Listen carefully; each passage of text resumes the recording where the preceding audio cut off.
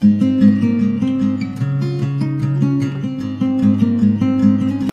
guys, long time no see.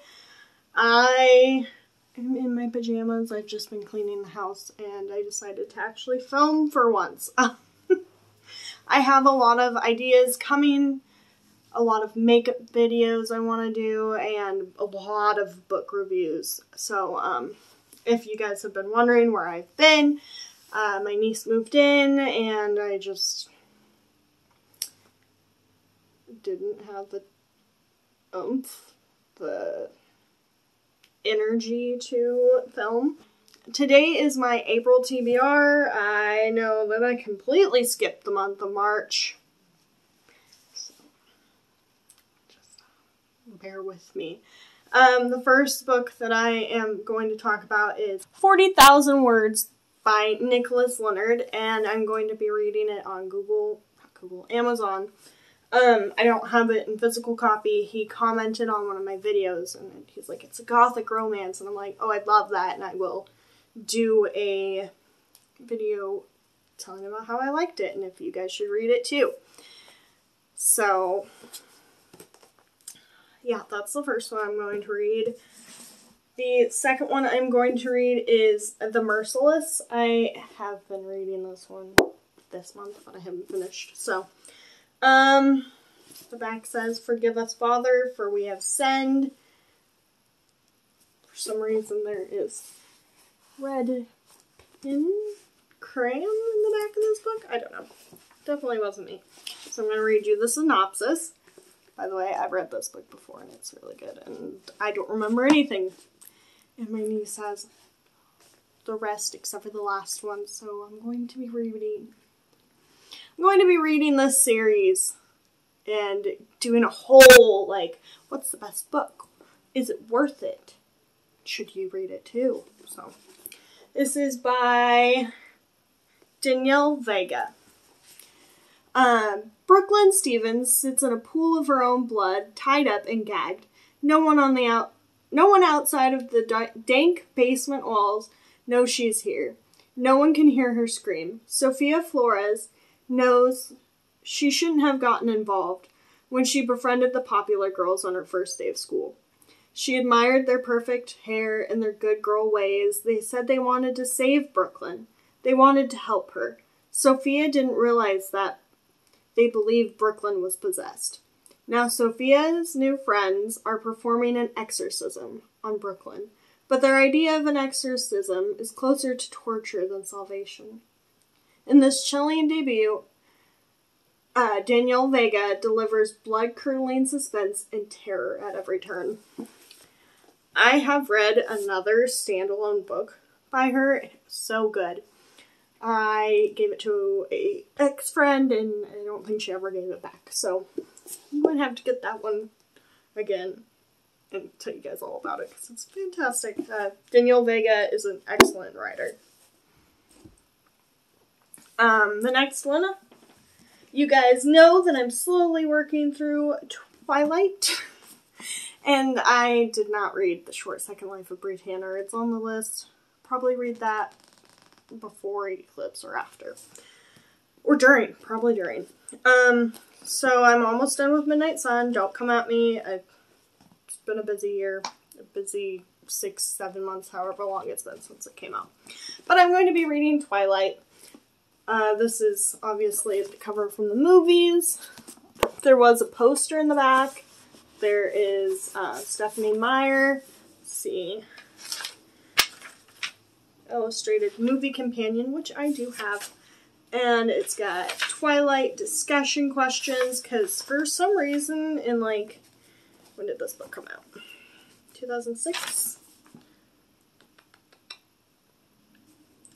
Uh, 2005.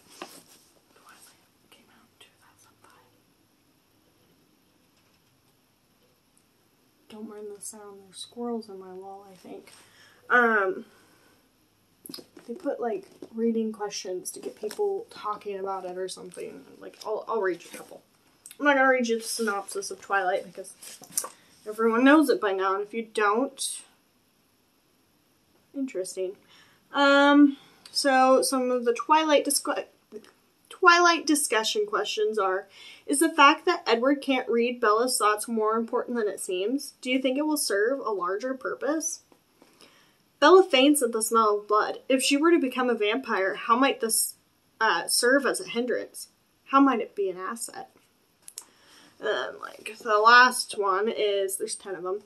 The last one is Stephenie Meyer has noted that each of the novels in Twilight Saga plays hom- uh, plays homage to liter- literary classics. For Twilight, she said Pride and Prejudice was a key inspiration.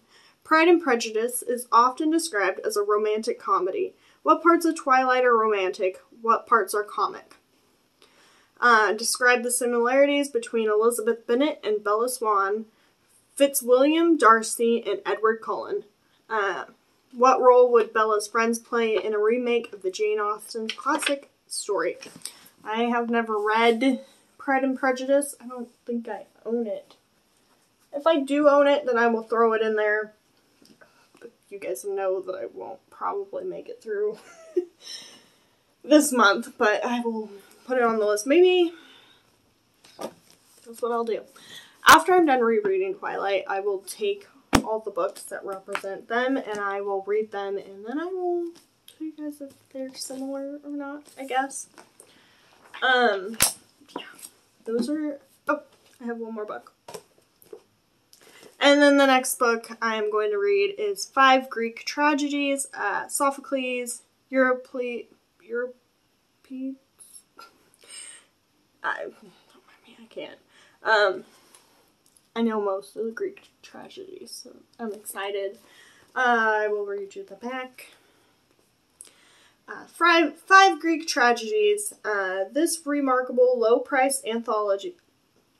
Is it saying low price? That's weird.